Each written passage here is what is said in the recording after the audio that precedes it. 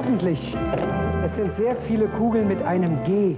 Ich möchte das Ihnen zeigen. G bedeutet, Sie nicht winken. Sie sind in einer Großstadt. Das kann man doch nicht machen. Ich weiß genau, dass viele zu Hause sagen, na, das machen wir nicht. Also,